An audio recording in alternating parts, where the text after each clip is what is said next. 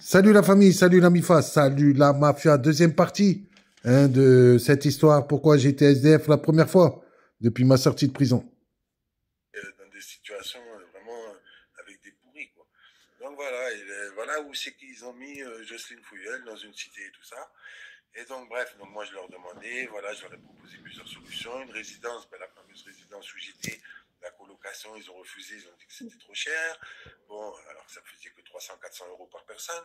Bon, enfin bref, ils ont mis que des bâtons dans les roues pour empêcher Jocelyne de faire son propre choix, c'est-à-dire de quitter sa cité. Ils voulaient qu'elle reste dans ses logements. Et donc plus tard, quand les spécialistes sera arrivé, il leur a même mis les produits. Et rendez-vous compte, le jour où il a mis les produits toxiques, il a dit, euh, je crois que c'était 48 heures, personne dans le logement.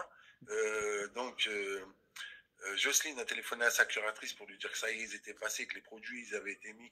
Et donc, pendant 48 heures, elle pouvait pas vivre dans le logement. Et, donc, c'est là que j'ai perdu mon logement. À cause de toutes ces histoires, j'avais plus de logement. Et ben, ils ont refusé de lui payer une chambre d'hôtel. Ils voulaient qu'elle dorme dans son logement. Donc, voilà les, les, les, les, conditions euh, dans lesquelles ils ont voulu laisser Jocelyne. Et c'est pour ça que, bon, ben, moi, il a fallu que que je me débrouille. Je vous montrerai aussi les vidéos avec la fameuse vidéo, le canapé, puis les, clés qu'on leur a rendues.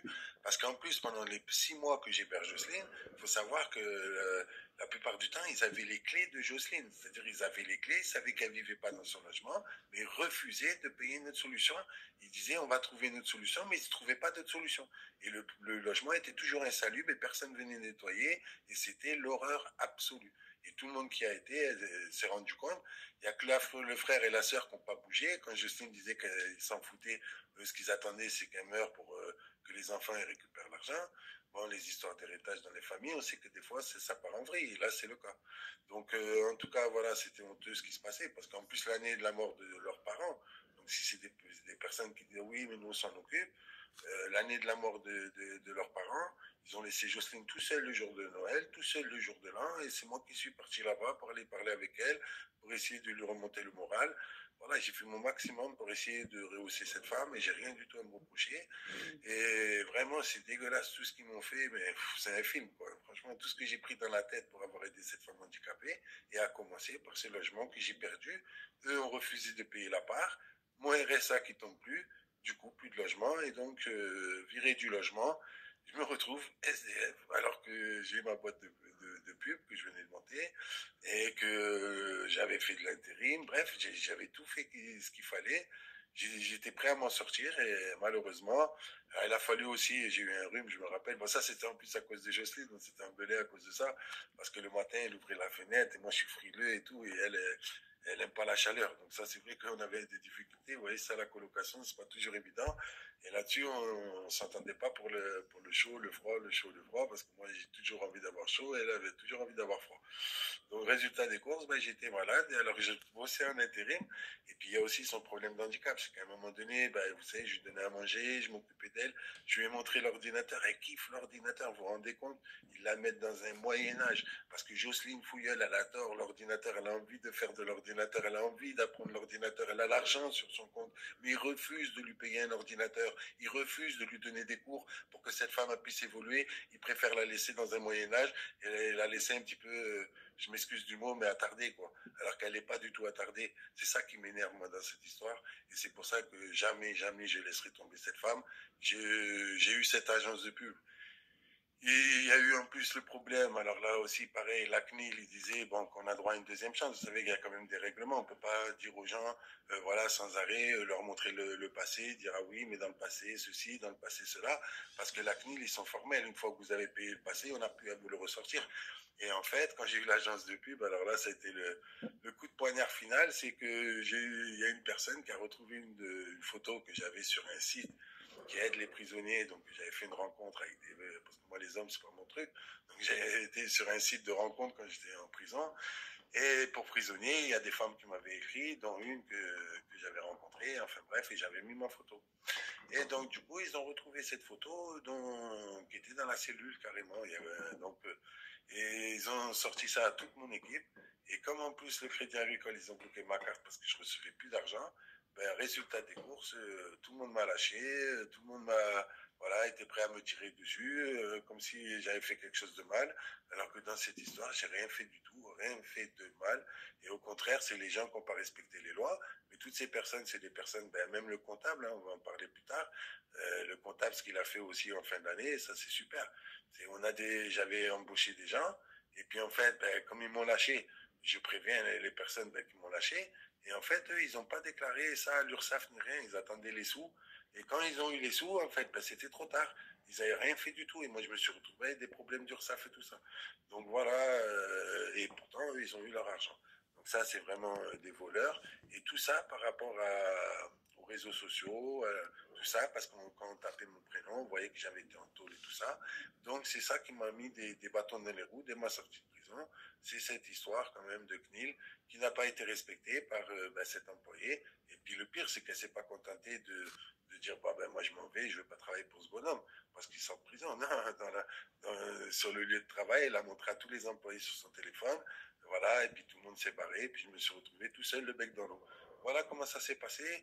Donc, euh, vous voyez, j'ai payé cher pour avoir aidé cette femme handicapée. Mais bon, après, on m'a dit, mais même la banque, hein, d'ailleurs, c'est ce qu'ils ont dit, le Crédit Agricole, mais vous n'aviez pas aidé Surtout, je m'en sortais, je faisais de l'intérim, je, me faisais connaître, tout allait bien, et puis tout d'un coup, ben, tout s'est cassé la figure. Et c'est là, en fait, euh, voilà, que j'ai décidé euh, de partir sur Rennes, parce que c'est vrai que c'est une ville que je connaissais du passé, que j'aimais bien. Et comme je venais justement de créer un journal pour essayer de gagner des sous, on avait fait un journal, voilà, qui, coûtait 8 euros. Et d'ailleurs, ça a été mon, premier ami. Euh, vraiment, je n'oublierai jamais Mathieu parce que c'est, ça a été le premier gars qui m'a fait confiance malgré que je sortais de prison. Il m'a avancé euh, vraiment beaucoup, beaucoup d'affiches, des cartes de visite et tout. Il m'a beaucoup, beaucoup aidé. Et puis même comme mon agence de pub a coulé, il a continué à croire en moi. Mais en tout cas, on a quand même fait euh, ce journal et ce journal à 8 euros. Et ça marchait super bien. On l'a vendu dans les rues, tout ça, et je le vendais donc à Rennes. Et justement, donc, euh, tous ces trucs, à un moment donné, donc, mai, ils tout ça. Bon, euh, ça bougeait pas, tout ça. Euh, Jocelyne, elle avait, elle, allait voir les médecins, on lui demandait d'aller, euh, elle était malade, enfin, fallait voir l'horreur qu'elle vivait. Elle avait envie de, vacances, on avait on est, parti en vacances. Ils n'ont pas remboursé la moitié des vacances. Toutes les vacances, tous les hôtels, c'est moi qui payais tout. J'ai toutes les factures. J'ai tout avancé. Donc, c'est pas avec ces 90 euros par semaine qu'elle pouvait payer voilà, un hôtel chaque semaine. Et pourtant, chaque semaine, elle n'a jamais dormi dehors et ça a duré des mois. Donc voilà, qu'est-ce qui s'est passé quand j'ai perdu mon appartement. J'ai essayé de l'aider, tout ça. Puis un jour, ils sont arrivés et euh, ils ont voulu faire une sorte de guet-apens, tout ça. Euh, soi-disant, ils venaient épurer la situation, comme a dit son frère. En fait, ils venaient me, faire des, des, des, des, sales coups. Et puis, bref, ils sont venus. Et puis, euh, moi, comme ben, Jocelyne a le droit d'aller voir sa famille, elle est partie aller les voir. Et puis, euh, j'ai plus une nouvelle. Enfin, voilà, c'est, à un moment donné, euh, j'ai, plus une nouvelle. Et puis, d'ailleurs, ben, la prochaine vidéo, justement, c'était la vidéo de l'époque euh, dire comment j'étais, parce que j'étais mi-figue, mi-raisin. C'est-à-dire, au début, j'y croyais encore. Je me suis dit, bon, ben là, sa famille, au début, disait qu'ils ne savaient pas qu'elle s'était fait violer. Bon, maintenant, ils le savent. Ils disaient des choses qu'ils ne savaient pas qu'elle se faisait raqueter dans son quartier. Bon, maintenant, ils le savent. Ils disaient qu'ils ne savaient pas que l'appartement était insalubre, malgré qu'ils l'avaient vu qu'ils l'avaient senti. Là, maintenant, ils le savent. Donc, je me dis quand même, c'est leur sœur, quoi. Ils vont, bon, si c'est de ma faute qu'ils veulent pas l'aider comme ils avaient l'air de dire, alors qu'ils ont fait pareil avec l'étudiante qui sortait pas de prison, c'était toujours des prétextes. Mais bon, bref, je me suis dit, bon, ok, d'accord. Moi, je suis parti à Rennes, justement, et Jojo, donc, euh, est parti avec sa famille. Voilà. Voilà, je voulais vous, vous raconter euh, cet épisode parce que, voilà, ça correspond aux vidéos que je vous mets donc sur l'association Les 13 SDF.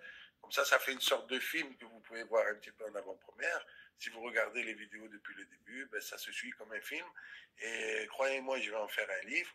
Et ce livre, ben, toutes les histoires que je suis en train de vous raconter, personnellement, ça m'aidera aussi, parce qu'à l'époque, c'est vrai, quand je faisais des bouquins, c'était beaucoup avec les souvenirs que j'avais dans la tête.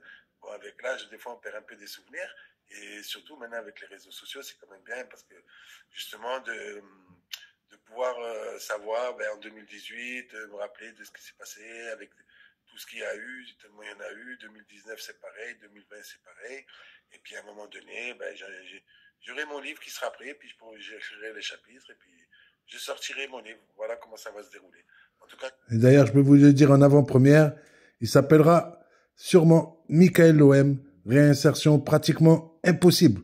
Parce que sur mon chemin, qu'est-ce que j'aurais rencontré l'injustice